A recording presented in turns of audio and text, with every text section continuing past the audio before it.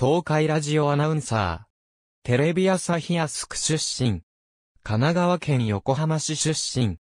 学習院高等科を経て、明治大学法学部法律学科を卒業。2007年4月入社。明治大学時代は、公式野球部に所属し、入部当初は、外野手、後に、学生コーチを務めていた経験がある。左投げ左打ちである。趣味は、ツーリング日帰り温泉巡り。特技は、ハッスルダンス、プロ野球における記録などの数字。アナウンサーとして初めて声が放送されたのは、2007年9月2日の直球勝負。大沢弘樹内の中日新聞ニュース。好きな歌手は、川島愛。2008年3月22日名古屋球場のサーパス戦からウエスタンリーグのドラゴンズホーム戦取材を担当していたほか、同年5月6日に名古屋ドームで行われた広島東洋カープ戦で三塁側、広島カープのベンチリポートで野球中継に初出演をした。同年8月21日の横浜スタジアムの横浜ベイスターズ戦で、ベースボールデスクで実況を除く、現在の野球中継時のスポーツアナの業務の一通りを担当し、同年9月12日からの横浜スタジアムでの横浜3連戦でビジターゲームのドラゴンズリポートを担当した。名古屋ドームでドラゴンズ主催試合開始前に行われるスピードボールコンテストで年に一度行われる、在名各局のアナウンサーが参加する大会では111キロを出したことがある。2009年1月、東海ラジオレポートドライバー山田智美と結婚。2010年11月に第一子誕生をブログで公表。2009年5月19日に埼玉県営大宮公園野球場で行われた埼玉西武ライオンズとのセッパ交流戦で初めてヒーローインタビューを担当した。2009年7月23日に札幌ドームで行われたフレッシュオールスターゲームの5回の実況を担当。この試合が野球実況デビューとなった。2009年12月13日に中京競馬場で行われた豊明特別で競馬初実況を担当した。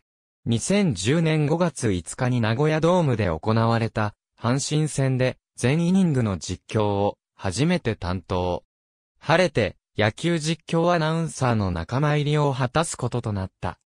2013年1月1日付人事異動で制作部ディレクターに配置転換されたため、2012年12月で一旦アナウンサー職から離れた。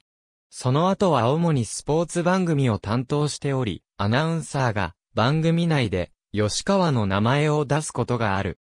2018年10月1日付の人事異動でアナウンス室へ復帰したことを機に、2019年から東海ラジオガッツナイターのベンチリポートを皮切りに、スポーツ中継への出演を再開。ただし、復帰後もスポーツ中継、関連番組のディレクターを兼務している。